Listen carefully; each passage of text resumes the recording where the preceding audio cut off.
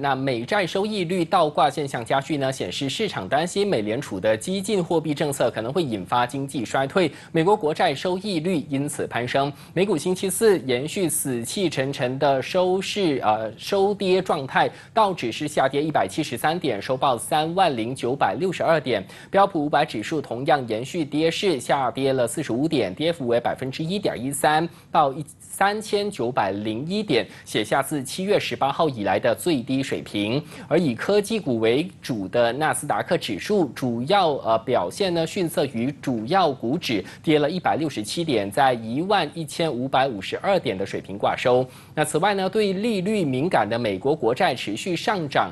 加剧曲线倒挂现象，那市场认为说呢，这是经济衰退的预兆。在星期四的交易呢，美国五年期和三十年期国债收益率曲线倒挂多达了二十个基点，创下了二零零零年以来的最高水平。而就在美国能源部表示，补充战略石油储备的计划不包括价格触发机制，可能在二零二三年财年之后呢才会实施。因此呢，油价下跌。截至今早九点，WTI 纽约原油每桶报八十五美元，跌幅为。百分之零点二三，而布伦特原油在下跌了零点一七，每桶报九十点六七美元。